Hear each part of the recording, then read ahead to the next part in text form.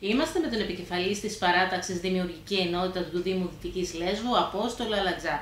Κύριε Αλατζά, στην προηγούμενη τετραετία ήσασταν εκτελεστικός γραμματέας στην περιφέρεια Βορείου Αιγαίου. Σήμερα επικεφαλής της αξιωματικής αντιπολίτευσης. Πώς βλέπετε αυτή τη μετάβαση, Κατά πρώτον, ευχαριστώ για την πρόσκληση, ευχαριστώ για τη συζήτηση που θα κάνουμε. Ήμουν εκτελεστικός γραμματέας στην περιφέρεια Βορειοαίγαιο σε μια περίοδο δύσκολη για την περιφέρεια, λόγω και του εκλογικού συστήματος που είχαν τότε η Περιφερειακή Αρχή είχε μόνο 10 δημοτικούς συμβούλους και καταλαβαίνετε ότι έχεις 10 στους 41 έπεφτε μεγάλο βάρος στον ίδιο τον Περιφερειάρχη που μου είχε δώσει πολλές πολλές αρμοδιότητες πέρα από το θεσμικό ρόλο ενός εκτελεστικού γραμματέα. Η μετάβαση πάντα, ο πρώτος βαθμός αυτοδιοίκησης με ενδιέφερε. Άλλωστε από εκεί είχα ξεκινήσει, πριν 15 χρόνια ήμουν δήμαρχος στην Πέτρα και πάντα με ενδιέφερε και την παρακολουθούσα. Η μετάβαση δεν ήρθε κύρια από δικιά μου πρώτη πρωτοβουλία. Καλέστηκα από στελέχη ε, της ομάδας, ας, ας, το πούμε έτσι, του, της μείζων αντιπολίτευσης του κυρίου Νίκου Χίρα ε, τότε στο να πάω να βοηθήσω και άλλους ε, ανθρώπους ε, του ευρύ χώρου, κάποιους που είχαν αποχωρήσει από το κύριο Βέρο, ε, για να κάνουμε ένα σχήμα ευρύ αυτοδιοικητικό πέρα από κομματικές αγγελώσεις για να μπορέσουμε να δώσουμε μια άλλη ρότα στο Δήμο όπου αυτοί διαφωνούσαν τόσο πολύ με την πολιτική που ασκούσε ο νυν δήμαρχος, ο τότε δήμαρχος και νυν δήμαρχος, ο Βέρος, ο κ. Βερός. Σε αυτό το ρόλο πήγα να παίξω, ενώ στην αρχή ήταν τα πράγματα έτσι. Φαίνεται ότι όλο αυτό το σκηνικό που εμένα με έπεισε καταρχήν δεν ήταν ουσιαστικό και δεν το πιστεύαν οι ίδιοι. Γι' αυτό και άλλωστε πολλοί από αυτούς αποχώρησαν μετά και πήγαν σε άλλα σχήματα, είτε σχήματα περιφερειακά, είτε σχήματα ε, στα περιφερειακά πιο πολύ ή ανεξαρτήτως, ε, δεν ενταχθήκανε κάπου. Ε, από εκεί και πέρα εγώ είχα την επιλογή ε, από τη στιγμή που πήγα και είχα δεσμεύσει και κάποιους άλλους ανθρώπους, είχα την επιλογή ενώ έβλεπα ότι το αποτέλεσμα ποιο θα ήταν, φαινόταν καθαρά, ή να το βάλω ας πούμε στα πόδια ή να δώσω αυτό που δίνω πάντα στην αυτοδιοίκηση, τη δικιά μου άποψη, τη δικιά μου γνώμη με τους ανθρώπους που μας ακολούθησαν και αυτό κάναμε. Και βέβαια ο κόσμος μας τίμησε με ένα ποσοστό 20% που νομίζω ότι είναι ένα ποσοστό το οποίο και σήμερα ακόμα στην δημοτική, στα Δημοτικά Συμβούλια, στην Δημοτική Επιτροπή το εκφράζουμε με τον τρόπο που το εκφράζουμε. Ο Δήμος Δυτικής Λέσβου είναι ένας νεοσύστατος Δήμος, μετράει περίπου κοντά στα πέντε χρόνια ζωής. Ε, στις α, τελευταίες εκλογές ο κόσμος επιβράβευσε το έργο του Δημάρχου Δυτικής Λέσβου Ταξιάρχη Βέρου με την επανεκλογή του. Πώς ερμηνεύεται το αποτέλεσμα αυτό; Ο Δήμος είναι ένας νεοσύστατος Δήμος. Όπως ακριβώς το είπατε, ε, έχει πέντε χρόνια ζωής. Ο κόσμος έδωσε ένα 65%, ένα, έδωσε δηλαδή ουσιαστικά για να διαβάσουμε λευκή επιταγή ε, στον ε, Δήμαρχο του Ταξιάρχη Βέρο. Αυτό όμως αυξάνει και τις υποχρεώσεις του Ταξιάρχη ε, του Δημάρχου απέναντι στον κόσμο, γιατί έχει δεσμευτεί για κάποια θέματα τα οποία εμείς ερχόμαστε σήμερα αρρωγοί στο έργο να στηρίξουμε. Δεν πάμε δηλαδή, όχι σε όλα. Βέβαια έχουμε μια διαφορετική άποψη, την οποία και παρακάτω θα πιστεύω θα μου δοθεί η ευκαιρία να αναφέρω. Ο κόσμος πίστεψε και πίστεψε θεωρώ γιατί ο, μέχρι πριν τις εκλογές ένα, ε, μόλις δύο μήνες, τρεις κατέβαινε μόνος του ουσιαστικά. Δεν υπήρχε άλλος αντίπαλος. Όλοι οι άλλοι, ε, είπα και προηγουμένως, οι οποίοι φέραν κάποιες διαφωνίες, είδατε ότι διαλυθήκανε. Δηλαδή ουσιαστικά δεν ε, μπορέσαν να κάνουμε ένα σχήμα που να εκφραστεί ενιαία και να βγάλουμε μια πολιτική. Και αυτό σημαίνει ότι και αυτά που λέγανε την αντιπολίτευση που ασκούσαν σημαίνει ότι δεν πατούσε γερά ε, η αντιπολίτευση. Γιατί αλλιώς μένεις και υπερασπίζεσαι τον κόσμο ε, σε αυτά που του έλεγες πριν. Δεν φεύγεις, δεν δραπετεύεις δηλαδή. Εγώ το θεωρώ δραπέτευσες από τον πρώτο βαθμό. Σαφώς αναφέρεστε σε συγκεκριμένα πρόσωπα και έχουμε καταλάβει σε ποια πρόσωπα αναφέρεστε, δεδομένου ότι είπατε ότι ήταν προηγουμένως στην, ε, με το συνδυασμό του Χίρα και μετά ε, ήταν υποψήφοι στις περιφερειακές εκλογές. Δεδομένου ότι τα συγκεκριμένα πρόσωπα ε, έχουν ε, στενούς δεσμούς ε, με ανώτατα στελέχη του κόμματος της Νέας Δημοκρατίας, πώς το εισπράτεται αυτό; Κοιτάξτε να δείτε, ε, αναφέρομαι όχι μόνο στην ομάδα Χίρα, το είπα και προηγουμένως. Αναφέρομαι και σε, στον ευρύ χώρο ανθρώπων οι οποίοι ήταν στον πρώτο βαθμό, παίξαν ένα ρόλο στο να δημιουργηθούν σχήματα, Όταν λοιπόν τα σχήματα εμένα με φωνάξανε, άρχισε να δημιουργείται αυτό το σχήμα και ενώ είχαν άλλες υποσχέσεις, στο τέλος κάνανε άλλα, άλλα, άλλες πορείες τέλος πάντων.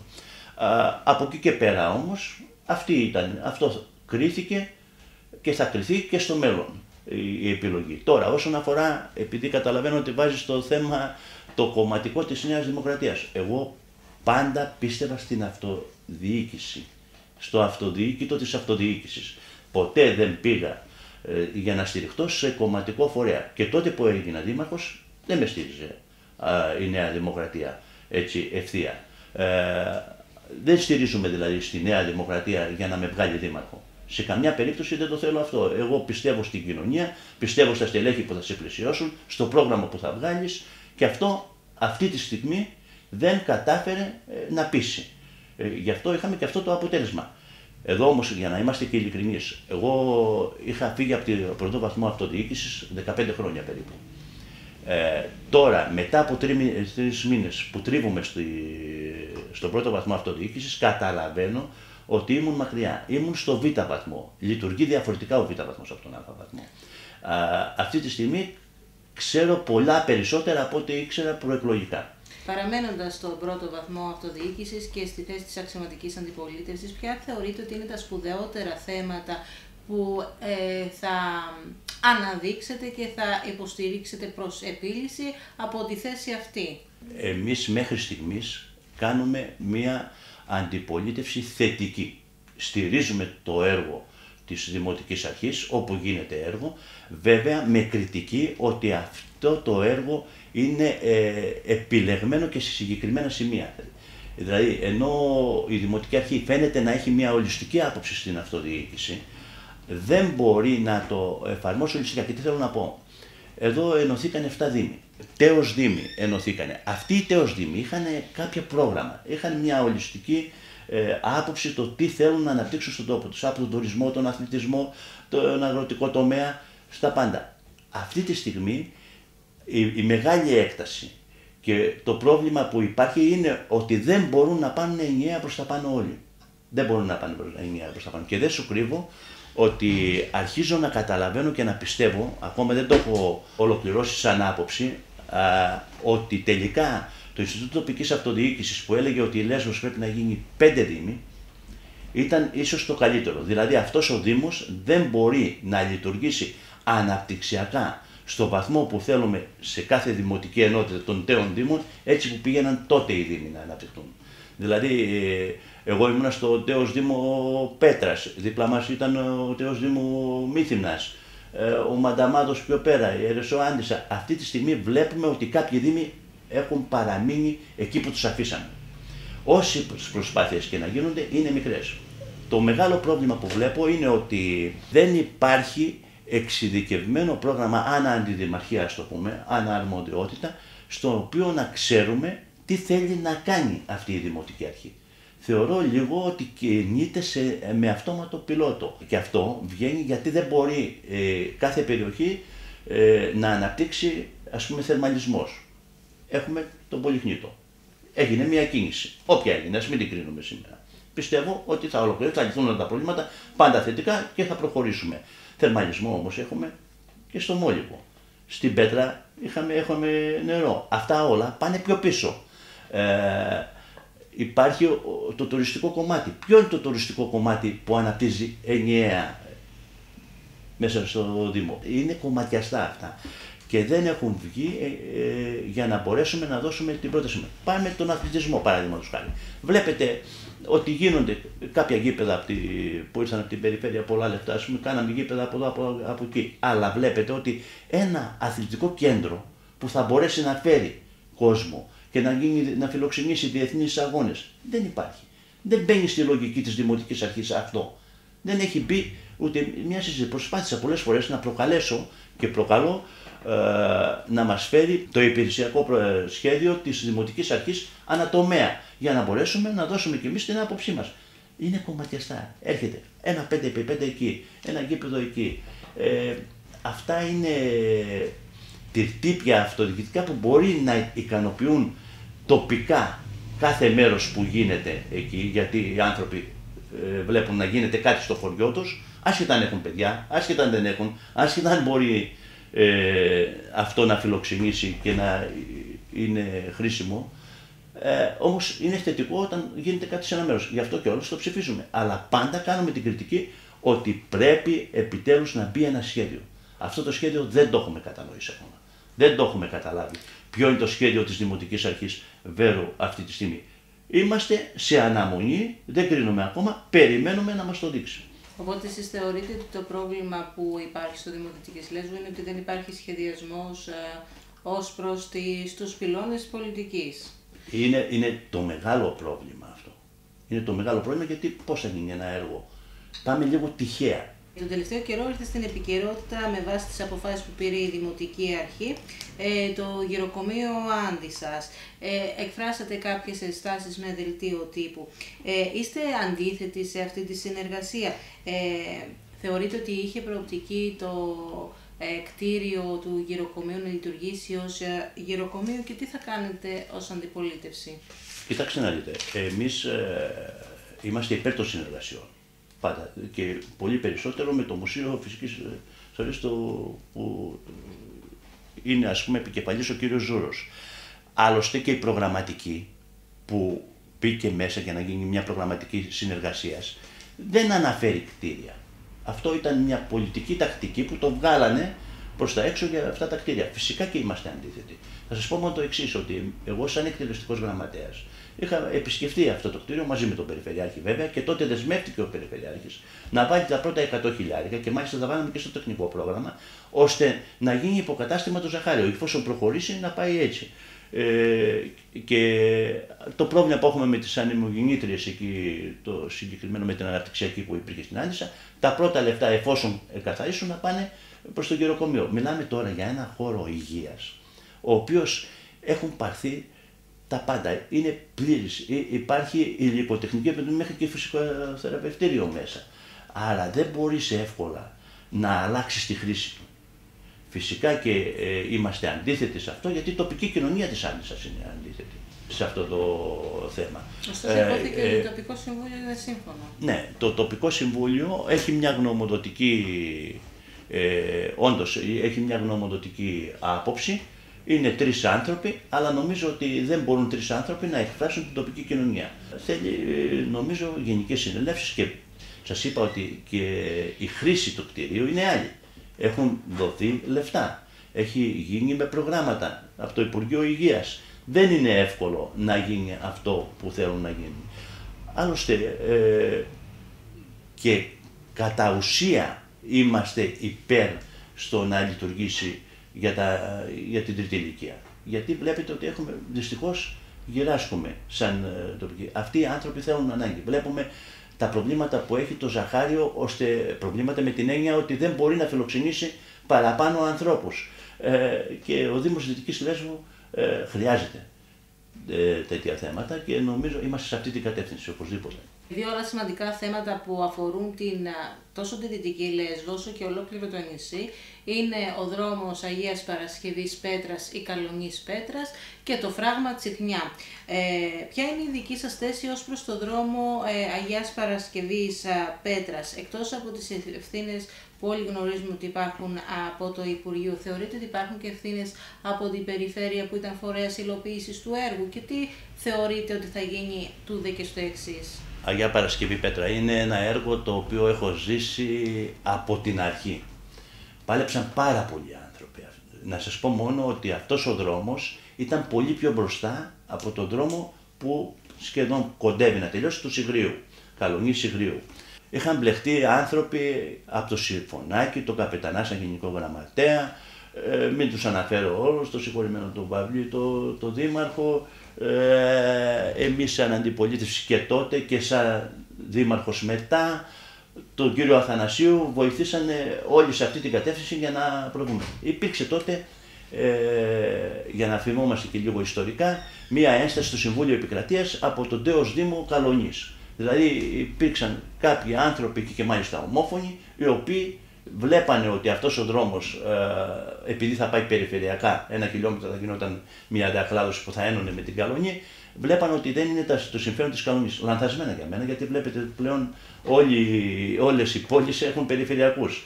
Τέλος πάντων, όμως αυτό επικράτησε και αυτό μας πήγε πίσω. Ε, τι γίνεται σήμερα; Το μεγάλο λάθος για μένα έγινε επί Περιφερειακής Αρχής ε, Καλογύρου που το παρουσιάσαν τότε ως θετικό. Ήμουνα και εγώ μέλος της Περιφερειακής Αρχής. Και μάλιστα δεν αντέδρασα γιατί το πίστεψα καταρχήν ότι το πήραμε από το Υπουργείο για να το εκτελέσουμε εμείς σαν περιφέρεια. Όμως, ναι, μεν έγινε αυτό για πολιτικάντικου λόγους και εκεί έμεινε. Ευτυχώς ήρθε ο νυν ε, Περιφερειάρχης, ο, ο κ. το έτρεξε αυτό το έργο, αλλά πέσαμε πάνω στην αναμπομπούλα που έγινε με τις δύο υπηρεσίες του Υπουργείου με το φράγμα.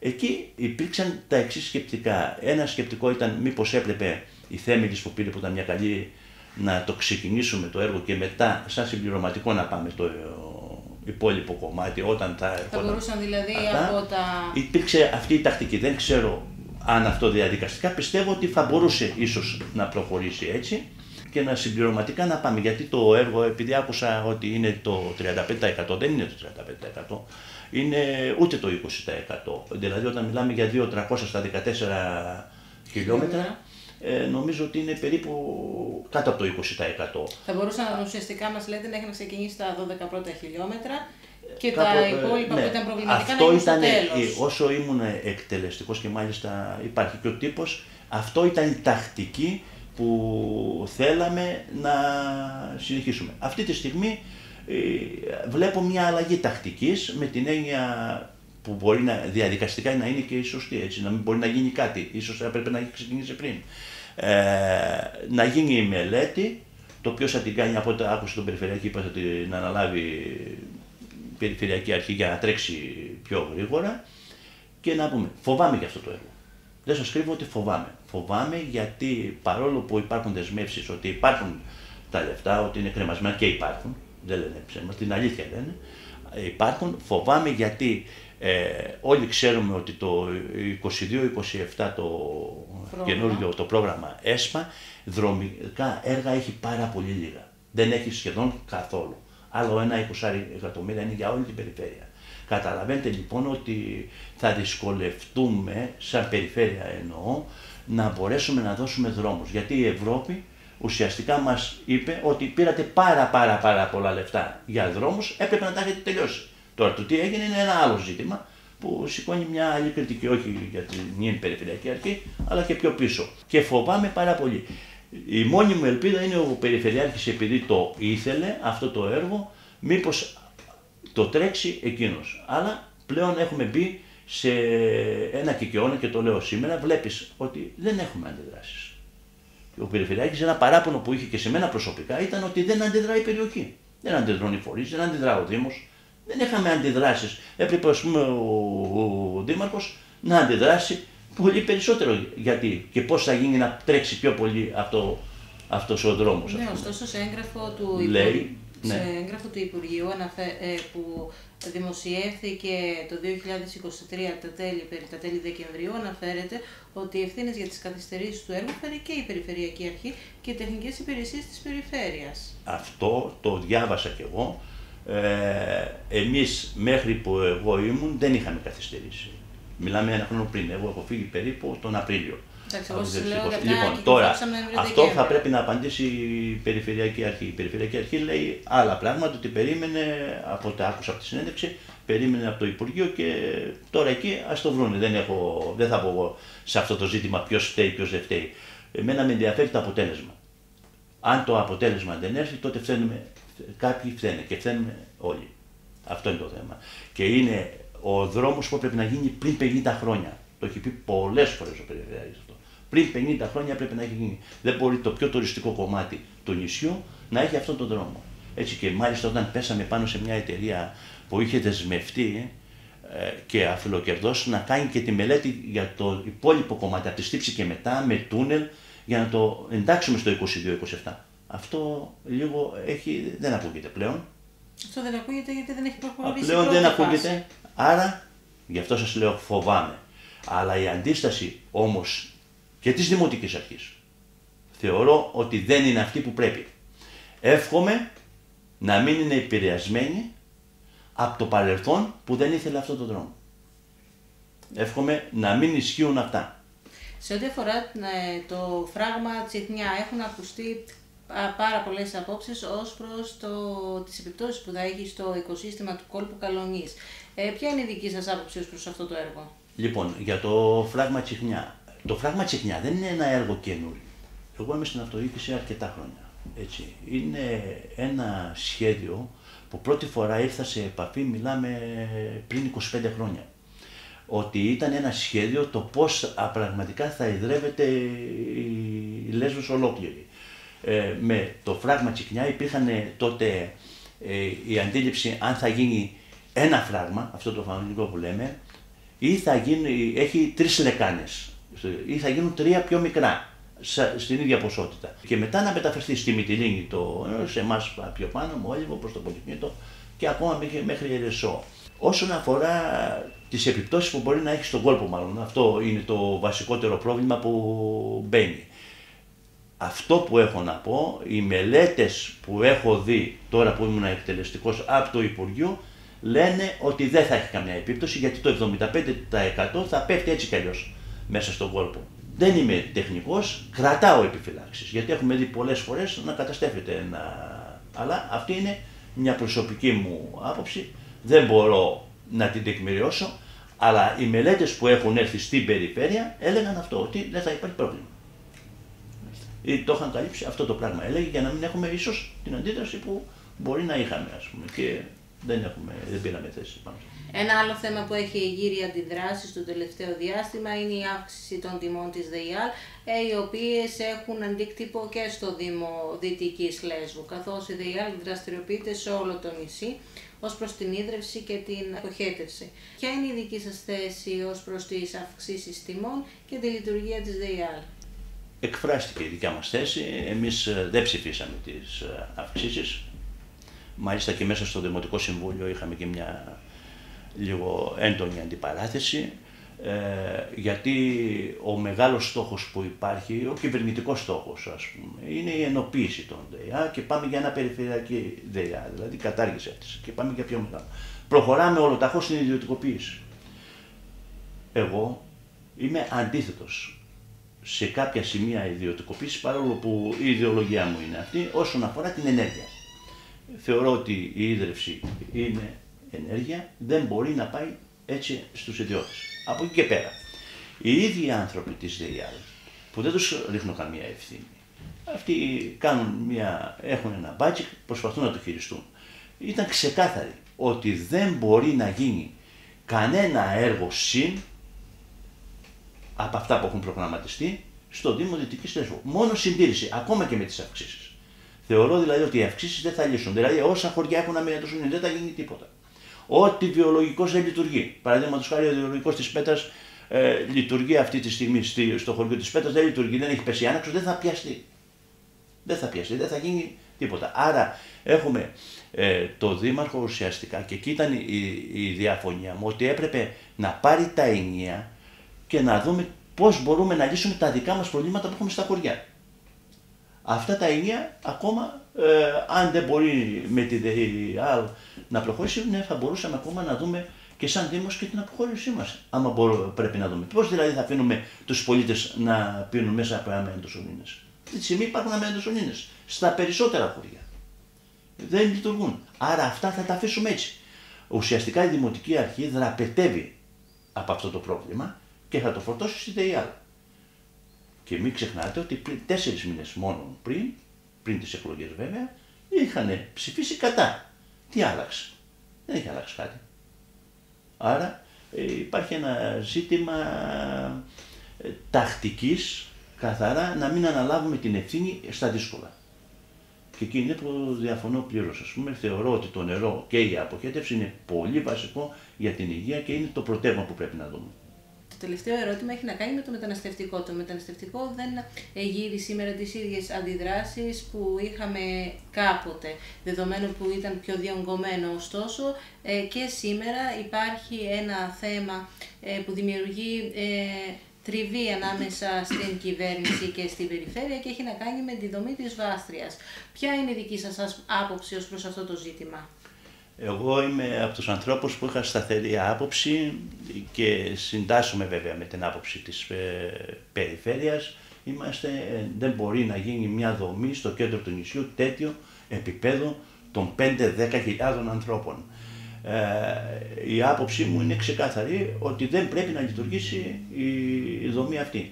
Εδώ βέβαια βλέπω ότι ψηφίζουμε κάποια έργα και εγώ τα ψηφίζω και παίρνουμε κάποια χρηματοδότηση, ας πούμε στο Δήμο, παραδείγματος χάρη θα πω ότι εγώ προσωπικά στη Δημοτική Επιτροπή ψήφισα να πάμε από το Ταμείο Αλληλεγγύης 800.000 για το πλακόστοτο στην Πέτρα, 200.000 για ένα γεφύρι στον Αγιο Φωκά, ε, στο 70.000 για κάποιες ε, στην ε, Σκανιά κάποιο έργο επί 5 επί 5. Αυτά όλα, ναι μεν τα ψηφίζω γιατί είναι υποχρεωμένοι.